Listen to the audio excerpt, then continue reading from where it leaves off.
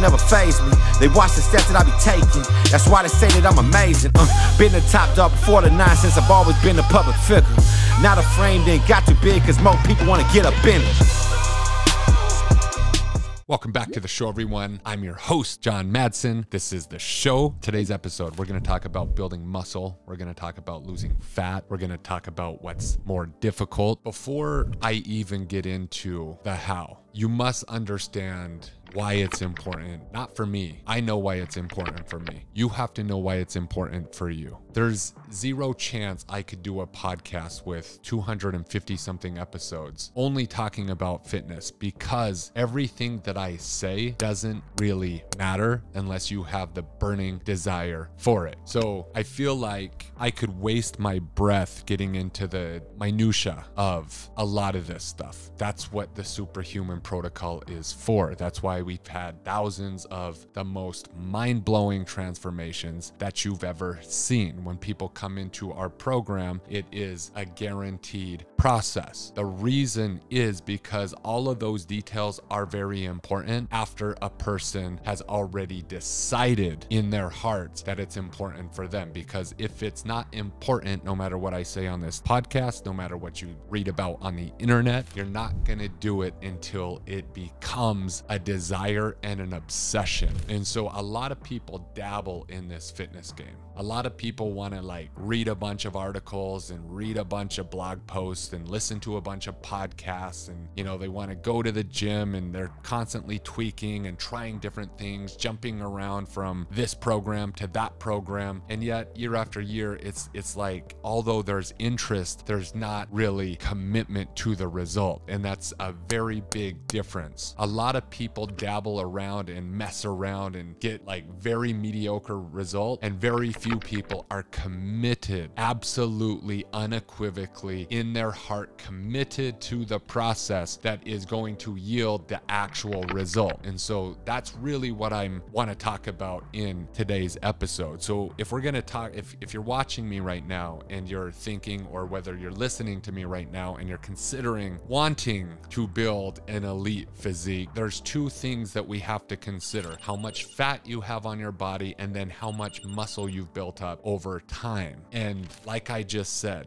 if there's not a burning desire to represent yourself in the most elite way, which is gonna be, by the way, an elimination of most of the fat on your body so that you're walking around in a 10 to 14 ish percent body fat percentage with substantial muscle. If that's a desire for you, then what I'm about to tell you is gonna be very important. If it's not a desire and you're okay just representing mediocre, soft, flaccid, average version of yourself, like 90% of the Americans out there, then what I'm about to say is not going to resonate at all. And if you're a new listener, you probably are not going to like what I have to say. But if you've listened for a long time, you you understand that the whole premise of everything that I do, all the content that I put out, everything that Suprahuman represents is this excellence that lives inside of you and it lives inside of me. And so how do we bring that out? Well, if a person is thinking about fitness, they're usually just thinking of it with a short-term vision of wanting to lose 10 to 15 to 20 pounds. Maybe they've let themselves go a little bit. They look into the mirror and they're like, damn, I got about 30 pounds to lose. And so they come in with that limited, limited view. And so this process for us is in the beginning is stripping all of that excess fat off. And so the reason we want to do that is because we actually want to like think of a statue. It's like we're just chiseling the excess fat off. A, it's not healthy. B, it doesn't look good. And C, if you do want to represent excellence, this is the first step. And so we're stripping all of it off. And then we get down to this like bare bones, the amount of muscle that you've built up over time. And usually you 95% of you, men especially and women, have substantially, significantly less muscle than they think. And so the hard part here is that a lot of times we have someone come into the program and let's say that they're 225 pounds. This is a real, this is a real example, by the way. Say someone's 225 pounds, 5'10. They come to us and they're like, John, I want to get down to 200 pounds. And if I get down to 200 pounds, I'm going to be ripped. And we've done this long enough. Like we have a before picture. We take the, the, the person sends a before picture and I know instantly that that body type, it's not going to have to get down to 200 pounds It's going to have to get all the way down to 160 pounds. So the person comes in thinking that they want to represent excellence, they want to be elite, and that they need to lose 25 pounds in order to do so. But what happens is we start stripping that weight off. They get to 200 pounds and they're like, holy shit, I got way more fat on this body than I think. John, I think we need to go to 185. And I'm like, no, no, no, no, no. 185 isn't going to be enough either. So we get to 185 and they see themselves and they're like, oh my God, I still got more fat on this body. How much further can I go? I'm the lightest I've ever been in 20 plus years. And so we keep stripping that fat off. And then we get to a point where we can see that person's abs. And yes, if you're watching this or you're listening, you have abdominal muscles. Everybody does. And so it's our job to see how many layers we're going to have to get through to actually see what's there. And just like any other muscle group, some abs, some people's abs are bigger than other people's abs because they've been trained more and more effectively. And so the hard part here is that most average trainees who are not who have not been in this industry who are not you know bodybuilders or powerlifters or professional athletes they they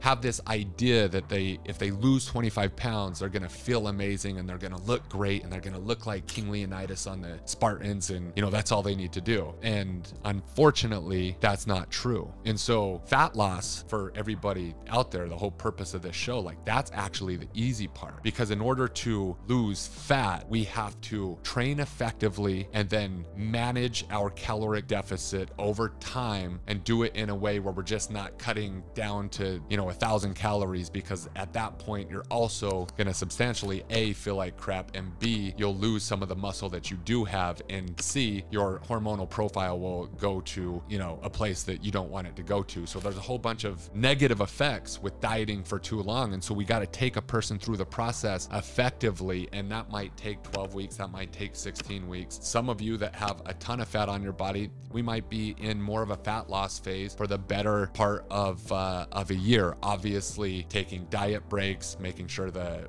metabolic function is okay, and then we get to this point where now this person is lighter than they've been probably since high school, and they're looking at themselves, and you can see shapes, you can see the muscles kind of pop a little bit, even if there's not a lot. But ultimately, most of the people get to this point and they're like, "Damn, John, I want to look like a Spartan though. Like I, I want to like I want to be a savage. Like I want I want to like I want to build I want to build this frame. And it's right here that the game actually gets more difficult. It's right here that like most people aren't going to go completely superhuman. Our people do because we're like the whole culture is built around excellence, but most people will lose the 25 pounds, realize that they don't actually look and feel that much better and then over time they like gain it back. And so it's just this like averageness that that's played out over and over and over again. But in this case, there's a switch that has to happen and then it's like I need to build muscle and that's when the game starts. But in order to go into this game, a person really really really really has to understand like the mentality and the and their heart's desire of like why it's important. And no matter what it is whether you want to build uh incredible business or you want to build this incredible body if there's not enough passion behind it there's not enough fuel. And so what's going to happen is a person will do it for a little bit of time and then they're going to not do it because there's not enough passion to fuel the discipline that's needed. There's not enough passion to fuel the mental toughness that is actually needed to complete the process. So for me, like I've told this story so many times, people said, John, like, why do you love the fitness industry? And, and the answer is because when I was 16 years old and I was gonna play high school football, which I never did because of this exact day, is I went into a weight room for the first time and we were asked to max out on bench press. And as I got down on the bench and my friends all did, you know, whatever they did, 95 pounds came crushing down on my chest. And in a moment's time, time, I realized that my confidence was shaken to its core. I felt weak. I felt powerless. As a 16 year old kid, I felt like my manhood was just like gone. And in that moment, that insecure moment where, where people are faced with a decision, are you going to run away from that insecure moment that just happened and say, you know what, the weight room's not for me. I'm just meant to be the scrawny, skinny kid. And you go over here and you never really face it. And then as, as an adult, you keep kind of wanting to get in shape. But every time you walk into the weight room, you're insecure because you're powerless. You think everybody's looking at you. You, you don't want to wear a tank top or you don't want to wear a short sleeve shirt. So you wear hoodies and you're just like, like you feel lack like the opposite of confident. And the best word I can describe it is powerless because that's how I felt. Or do you take that moment and you run straight into your insecurity and you turn it into a security? See, I was so insecure about my body, I turned it into a security. And so from the time I was 16 years old, I'm going to turn 40 later this year. That amount of time literally 20 plus years, I've been building this body that I want to have that represents power and has a presence to it. And the thing that I realized when you represent excellence, when you represent winning in all that you do, and there's nothing that represents winning more than having a championship body. There's nothing. And so when you walk into a room and you represent excellence, I'm talking like I'm six foot five. I walk into a room, I'm 240 pounds, I have 10% body fat. I walk into a room and there's a powerful frame, and that powerful magnetic frame holds the frame for everybody else in the room. If I want to transfer my energetic state, this is like state control. I can transfer it easily and effortlessly because I have the strongest frame. The person with the strongest frame will hold the frame. And so I walk into the room and this this powerful state is one of the most it's the most effective tool I've ever seen to hold the frame. There is more negotiating power. There is endless opportunity. People want to do business with you. People want to go along for the ride and they don't even know why consciously. It's it's this unconscious magnetism that happens. And so when I'm talking about fitness, there's like a deep deep deep deep reason why I started it, but there's also a deep deep deep deep reason why I continue to do it because I've seen how easily I can have influence and a lot of it is based on this subconscious frame that I can control and have a lot of people almost unknowingly feel it. That is powerful, friends. That's a powerful, powerful thing to harness. But and the reason I'm talking about this first is because if you're gonna ever achieve it, this isn't a process that's gonna be like, oh, I'm gonna do this 16 week program and then all of a sudden I'm gonna be in ridiculous elite shape. So depending on where a person's from, usually phase one is stripping the fat off a person. That might only take 16 weeks. We've had a guy that's come into the program that had multiple eight figure business that has 80 something employees come into the program and lose 45 pounds in 16 weeks. We strip all of that fat off him in 16 weeks and we got down to this to this frame and he's like, "Okay, now what?" And we say, "Now the game has started. Now you're at the starting line." And so that's what I want you to understand watching and listening to this video. The game has not even started yet until you toe the line and you have already stripped all that excess fat off of you. Because then the, the next part of the game and here here's the here's the thing now, the next part of the game is forever ever. I was at a dinner with uh, a couple of my uh, best clients, and we were eating um, really good food. And uh,